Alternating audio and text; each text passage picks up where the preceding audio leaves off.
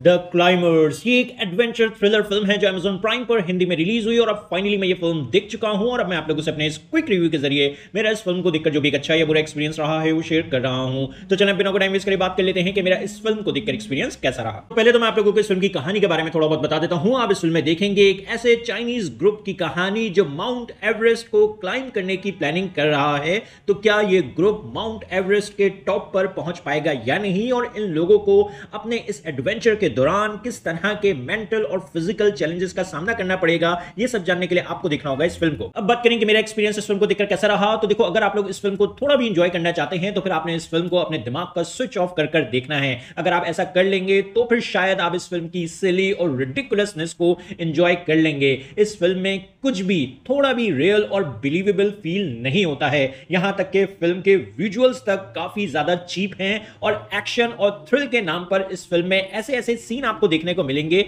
जिनको देखकर मुझे तो बस हँसी आ रही थी। मतलब एक्शन के नाम पर फ़िल्म में कुछ भी कुछ भी चल रहा होता है। बाकी कहानी काफ़ी सिंपल और प्रिडिक्टेबल है। आपको बहुत पहले ही पता होगा कि फ़िल्म का एंड क्या होगा। बाकी कैरेक्टर वर्क भी फ़िल्म का बहुत ही फारिग है। आप थोड़ा भी इस फ़िल्म के कैरेक्टर्स में इमोशनली इन्वेस्ट नहीं हो पाएँगे। आपको थोड़ा भी फ़र्क नहीं पड़ रहा होगा इस बात से कि इस फ़िल्म का कौन सा कैरेक्टर कब मर रहा है, जो काफ़ी ज़्यादा डिसअपॉइंटिंग है। बाकी एक्ट्रेस की परफॉर्मेंसेस इस फ़िल्म में बस ठीक ठाक सी हैं। और हाँ अगर आप इस फ़िल्म को यह सोचकर देखेंगे कि आपको इस फ़िल्म में ग्रेट जैकी चैन देखने को मिलेंगे तो वो बस इस फ़िल्म में तीन से चार मिनट के लिए ही आपको देखने को मिलेंगे। इससे ज़्यादा उनका रोल नहीं है। इन शॉर्ट ये फ़िल्म मेरी नज़र में बस एक चीप थ्रिलर है और एक टाइम वेस्ट एक्सपीरियंस है। इसलिए मैं तो इस फ़िल्म को रेट करूँगा फाइव आउट ऑफ़ टेन और आप लोगों से बस इतना ही कहूँगा कि अगर आप लोगों का थोड़ा भी दिल है इस फ़िल्म को देखने का तो फिर आप अपने दिमाग का स्विच ऑफ़ कर कर, अपनी एक्सपेक्टेशन ज़्यादा हाई ना रखकर टाइम पास के लिए देखना चाहें इस फ़िल्म को तो देख लें। पर्सनली मैं आप लोगों को यह सजेस्ट नहीं करूँगा कि आप इस फ़िल्म पर अपना टाइम लगाएँ। तो आप लोगों को यह फ़िल्म कैसी लगी अपने ओपिनियन कमेंट बॉक्स में ज़रूर दें। मेरी वीडियो पसंद आई तो लाइक करें और चैनल को सब्सक्राइब करना मत भूलें।